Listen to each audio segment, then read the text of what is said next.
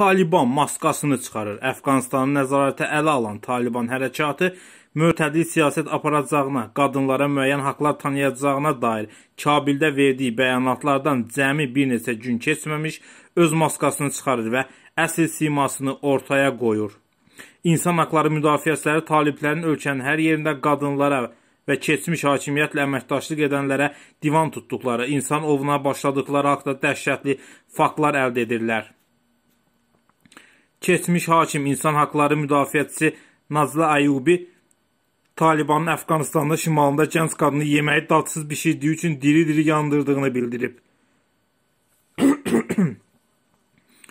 Ayubi danışıb ki, gənc qadın taliblər üçün yemək hazırlamağa məcbur ediblər, amma yemək hazır olanda taliblərin xoşuna gəlməyib.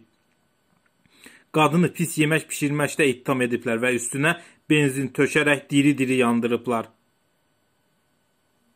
ABŞ-a qaçmış Əfqanistanlı insan haqları müdafiəçisi Ayubi deyib ki, qadınların döyülməsi, daşqalaq edilməsi və digər zoraki əməllərə məruz qalması barədə çoxsaylı faktlar daxil olur. Habelə taliblər qadınları seks köləsi kimi istifadə edirlər.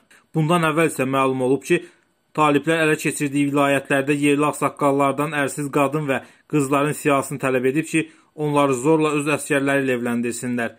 Taliblərin hətta 12 yaşlı qızları seks köləsi kimi istifadə etdikləri bildirilir.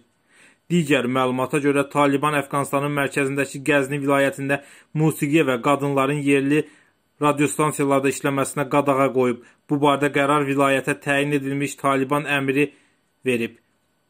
Vilayət avqustun 12-sində taliblər tərəfindən ələ keçirilib və həmin gün yerli polis rəisi Məhəmməd Haşim qalıcı yoxa çıxıb.